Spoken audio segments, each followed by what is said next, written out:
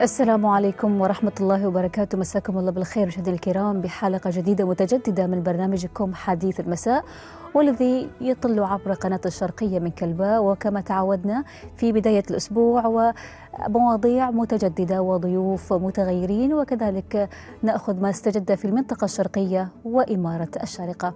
والآن نذهب إلى أهم عناوين هذه الحلقة. حدائق الأحياء السكنية وأهميتها في المنطقة الشرقية.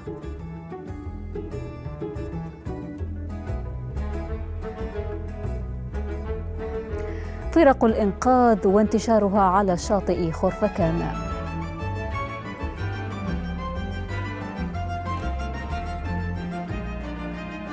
الطرق الإبداعية لحل المشكلات.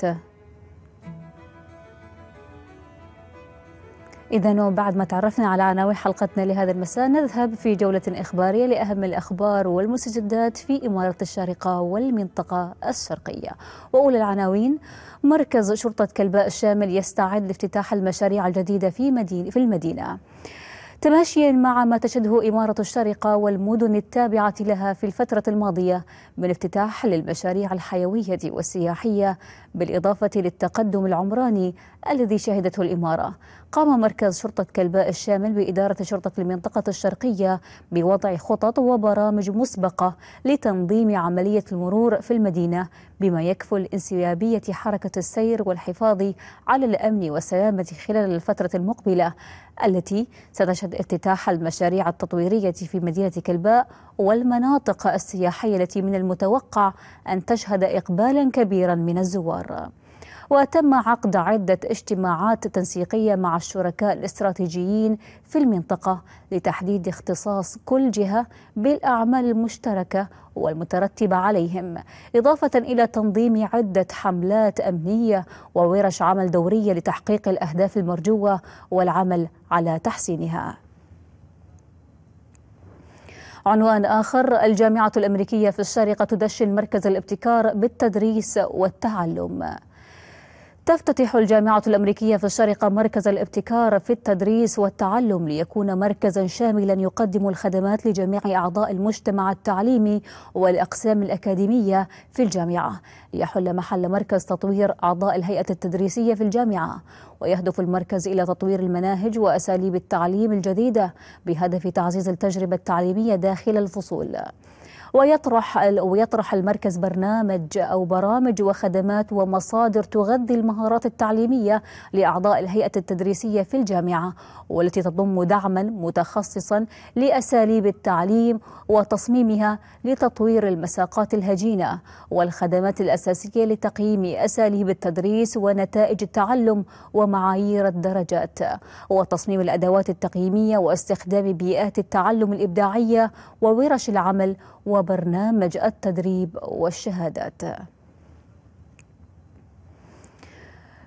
عنوان آخر استقطاب الشارقة للاستثمارات الأجنبية المباشرة ينمو 60% يعزز إطلاق الشارقة مؤشرا خاصا لرصد البيانات الاستثمارية وتحليل تدفقاتها ومستويات توظيفها للتكنولوجيا. من التوقعات بأن الزخم الاستثماري الذي حققته الإمارة في خلال عام 2020 رغم ظروفه الاستثنائية مع الجائحة العالمية يشكل بداية دورة اقتصادية جديدة في الشارقة ويجري برمجة تنفيذها خلال عام 2021 بحملات ترويج واستقطاب استثماري لها ما يبررها. وكان مكتب الشارقة للاستثمار الأجنبي المباشر استثمر في الشارقة التابع لهيئة الشارقة للاستثمار والتطوير شروق قد أطلق قبل أيام مؤشر الشارقة للاستثمار كمنصة لتطوير بيانات وإحصاءات أو إحصاءات حول الاستثمارات المحلية والأجنبية المباشرة إلى جانب تقديم تحليل دقيق للتدفقات الاستثمارية. وآخر العناوين الشارقة تستضيف دوري أبطال الإمارات للمصارعة في الثالث عشر من فبراير الجاري. ينظم اتحاد الإمارات للمصارعة والجودو في الثالث عشر من فبراير الجاري مسابقة دوري أبطال الإمارات للمصارعة بصالة مدرسة الأنصار العالمية في الشارقة وذلك ضمن برنامج الاتحاد لتوسيع قاعدة انتشار اللعبة واكتشاف المواهب مبكرا لرعايتها لدعم المنتخبات الوطنية واعتمادا على قطاع المراحل السنية الذي يمثل مستقبل اللعبة في الدولة. وقد تحددت الساعة الخامسة من مساء يوم الخميس المقبل الموافق الحادي عشر من فبراير موعدا نهائيا لإغلاق باب التسجيل عبر الرابط الإلكتروني للاتحاد وتأتي تلك البطولة عقب المعسكر الناجح لمنتخب شباب المصارعة الذي أقيم في ديسمبر الماضي في ضيافة نادي الفجيرة للفنون القتالية. واستعدادا لاستئناف النشاط الرياضي والمشاركات الإقليمية الدولية القادمة. إذا بهذا الخبر نكون قد انهينا جملة الأخبار المحلية لهذا اليوم. أما الآن مشاهدينا الكرام نستقبل هذه المكالمة الهاتفية بهدف دعم الأهداف الاستراتيجية لهيئة كهرباء ومياه وغاز الشارقة أن تصبح مركزا عالميا للتميز في مجال المشتريات والتوريد في قطاع الكهرباء والمياه والغاز أبرمت الهيئة مذكرة تفاهم مع المعهد العالمي المعتمد للمشتريات والتوريد كأول جهة حكومية محلية في الشارقة تقوم بهذه المبادرة.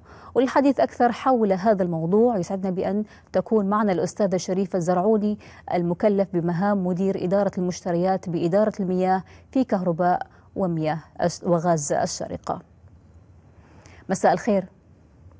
مساء النور. إذا أستاذة شريفة في البداية هل لك أن تعرفينا على ماذا نصت مذكرة التفاهم التي أبرمتها هيئة كهرباء ومياه وغاز الشارقة مع المعهد العالمي المعتمد للمشتريات والتوريد؟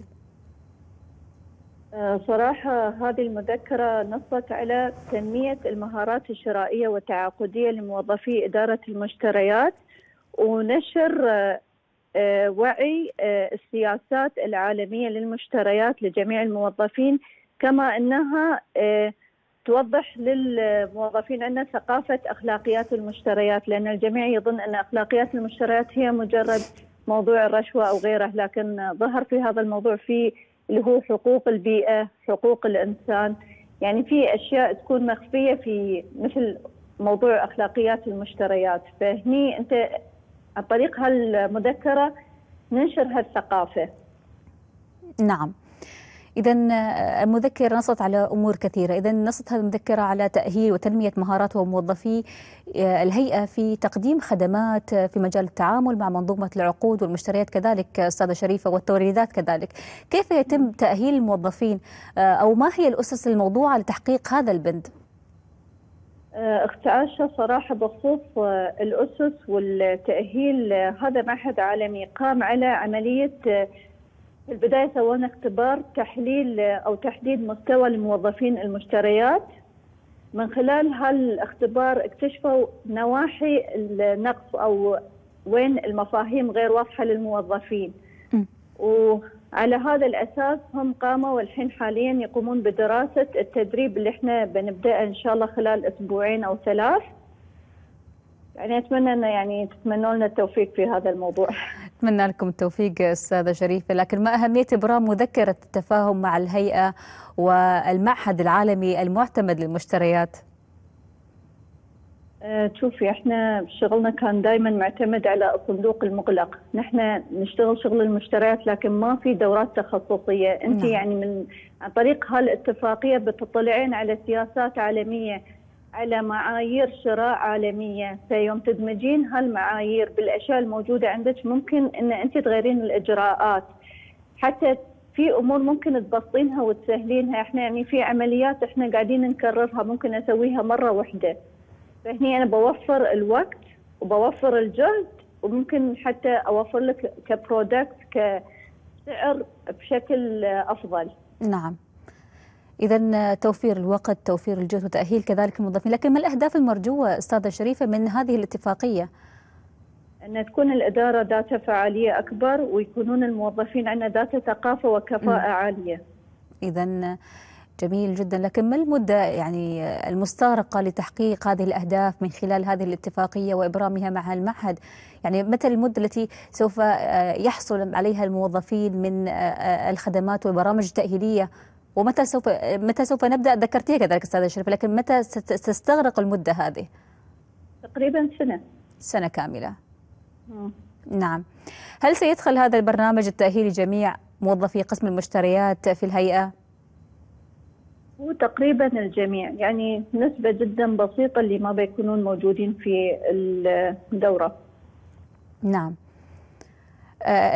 تقريبا الجميع لكن القسم البسيط اللي لم ينضم إلى هذه الدورة ما السبب يعني أنهم ما يدخلون في هذه الدورة أم أنها مخصصة فقط لموظفي المشتريات هو مخصص فقط نعم. لموظفي نعم. المشتريات نعم من بعد إنهاء الموظفين هذا البرنامج التأهيلي أستاذة شريفة هل هناك مؤشر لرصد وقياس الاستفادة من هذا البرنامج التأهيلي؟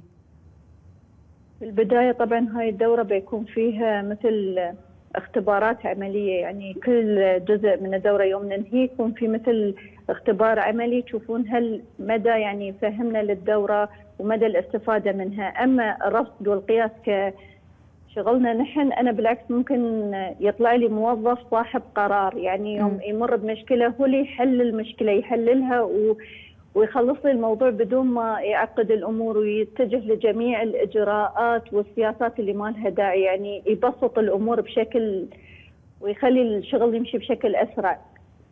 نعم. إذا أنتم اليوم في هيئة كهرباء ومياه وغاز الشارقة، ما هي تطلعاتكم وبرامجكم في الفترة المقبلة بإذن الله؟